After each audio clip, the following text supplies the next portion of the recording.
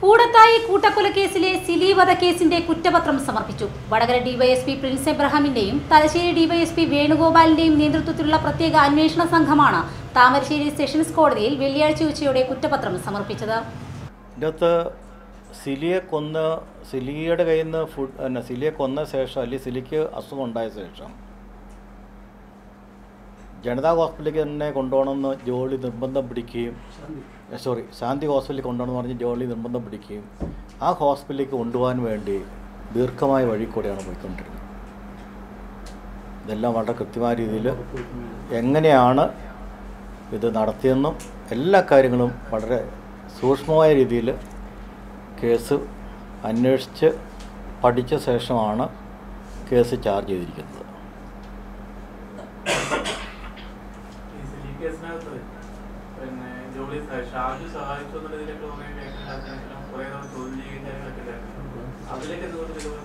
ഞാൻ പറയാം.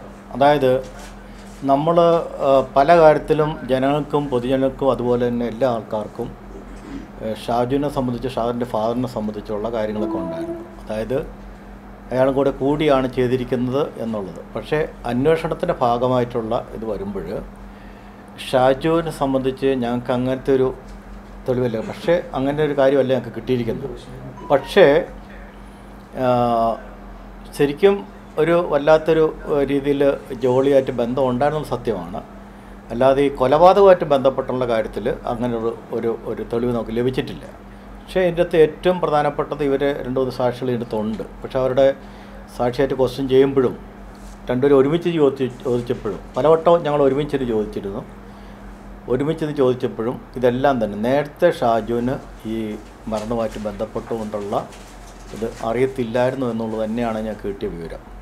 അതുകൊണ്ട് തന്നെയാണ് ഷാജുവിനെയും ഷാജുവിന്റെ ഫാദറിനെയും ഇന്നത്തെ പ്രതിയാക്കാതിരിക്കും പക്ഷേ ഞങ്ങൾക്കറിയാം പലരും ഇപ്പം ഒരു നൂറ് കണക്കിന് ചോദ്യത്തിൽ ഞങ്ങളോട് വന്നു. ഇവർ പ്രതിയാണോ അല്ലേ? പ്രതിയാണ് ഒരു കാരണം ഞാൻ അന്നും ഇന്നും പറയുന്നു. അങ്ങനെ എന്തെങ്കിലും ഉണ്ടെങ്കിൽ ഞങ്ങൾ ഒരു കാരണം സമ്മതിക്കത്തില്ല.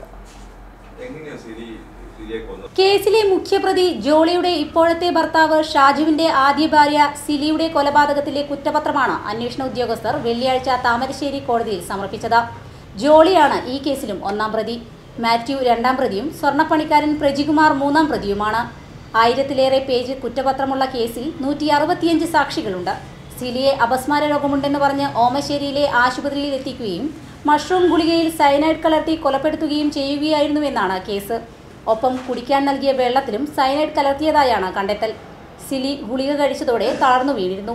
സിലിയുടെ മകൻ ഇത് കണ്ടപ്പോൾ ഐസ്ക്രീം വാങ്ങാൻ പണം കൊടുത്ത് ജോളി പുറത്തേക്ക് പറഞ്ഞയക്കുകയാണ് ഉണ്ടായത്. സംശയം തോന്നി മകൻ തിരികെ വന്നപ്പോൾ സിലി മറിഞ്ഞു വീഴുന്നത് കണ്ടുവെന്നും മകന്റെ മൊഴിയിലുണ്ട്. ഇത് കേസ് അന്വേഷണത്തിൽ നിർണായകമായതായി rural S P K G Simon വാർത്താസമ്മേളനത്തിൽ പറഞ്ഞു.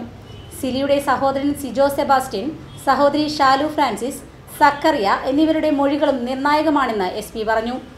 സിലിയെ വധിക്കാനുള്ള ജോളിയുടെ ആദ്യ ശ്രമം പരാജയപ്പെട്ടെന്നും രണ്ടാം ശ്രമത്തിലാണ് സിലി കൊല്ലപ്പെട്ടതെന്നും കുറ്റപത്രത്തിൽ രേഖപ്പെടുത്തിയിട്ടുണ്ട്. ആദ്യ ശ്രമത്തിൽ വിഷം ഉള്ളിൽ ചെന്നത് മെഡിക്കൽ റിപ്പോർട്ടിൽ ഡോക്ടർ രേഖപ്പെടുത്തിയിരുന്നു. എന്നാൽ അത് ബന്ധുക്കൾ കാര്യമാക്കിയിരുന്നില്ല. സംഭവത്തിൽ സിലിയുടെ ഭർത്താവ് ഷാജുവിനെ പങ്കില്ലെന്നും ഇതിനെക്കുറിച്ച് അറിവുണ്ടായിരുന്നില്ലെന്നും എസ് പി അറിയിച്ചു. കൊല്ലണമെന്ന ഉദ്ദേശത്തോടെ തന്നെ തൊട്ടടുത്ത് ആശുപത്രിയുണ്ടായിട്ടും പന്ത്രണ്ട് കിലോമീറ്റർ അപ്പുറത്തുള്ള ശാന്തി ഹോസ്പിറ്റലിൽ നിർബന്ധിച്ച് കൊണ്ടുപോവുകയായിരുന്നു. ഇതിനെല്ലാം കൃത്യമായ തെളിവുണ്ട്. ഷാജുവിനെ ഭർത്താവായി കിട്ടുക എന്നത് തന്നെയായിരുന്നു ജോളിയുടെ പ്രധാന ലക്ഷ്യമെന്നും ഇതിനായി സിലിയെ ഒഴിവാക്കാൻ പല വഴികളും ജോളി സ്വീകരിച്ചുവെന്നും അന്വേഷണ ഉദ്യോഗസ്ഥർ അറിയിച്ചു